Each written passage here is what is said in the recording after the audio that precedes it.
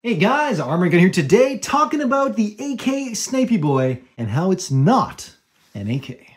For those of you who do know, go ahead and pat yourself on the back, and those that don't, it's okay, we're gonna talk about it. The Dragunov, which is actually properly pronounced Dragunov, is not an AK.